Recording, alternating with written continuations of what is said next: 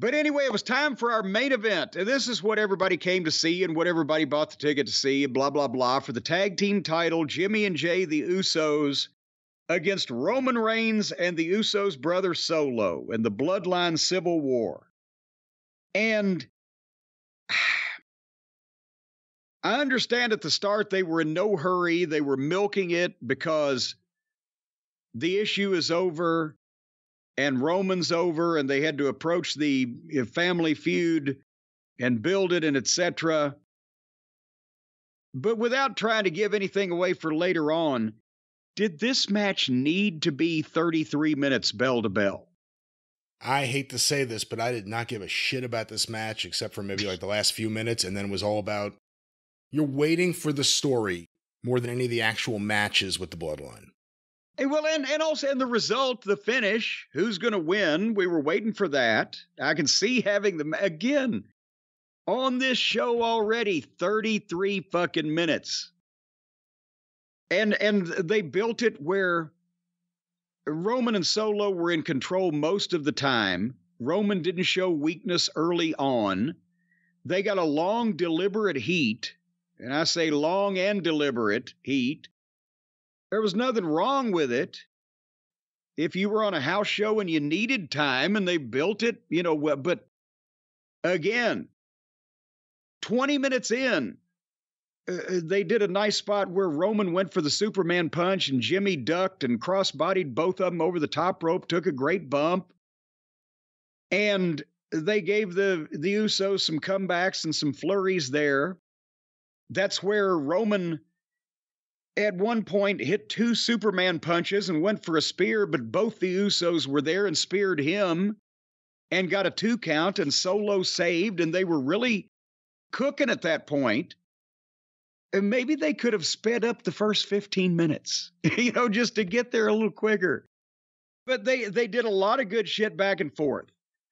And as you mentioned, you know, the, by the last what 10 8 to 10 minutes they were cooking. And they even did a referee bump which you thought okay this is going to be it. And they're they're taking people on the ride at this point.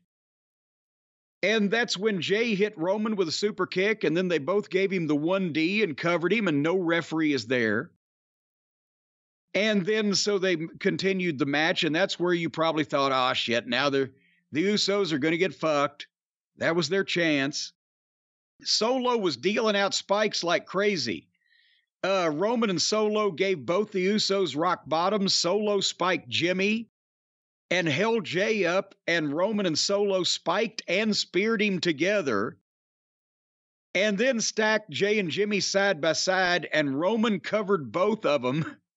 The referee had crawled back in at this point, and they kicked out at two, and that got a big pop. And honestly, you can't. The referee wouldn't count if he was covering both guys, but because of the fact that this whole deal is over and it got a huge pop, I'll allow it. Judgment for the fucking plaintiff or whatever.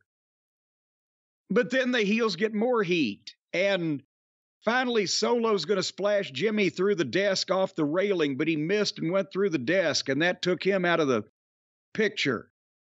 And that's where Jay and Roman had a back and forth, and Roman had him covered, but Jay nut shotted him. And then they super kicked him, both of them, about a half a dozen times, and a splash off the top by Jay on Roman. Cover one, two, three. And the place blew up. And that's the first time that Roman has been pinned since, what they say, December 2019. I think something of that nature. Something Three and like a half that. years, thereabouts. Yeah. Um, it was the right finish, and it's still eh, being beaten by two guys in a tag team match is different than putting a single guy over in a single match. And historically, world champions have lost falls in tag matches to set shit up. I didn't mind that. I th- if they'd have beaten solo, people to kind of been eh because that's what you would expect. So, and and obviously Roman wanted to get the family over.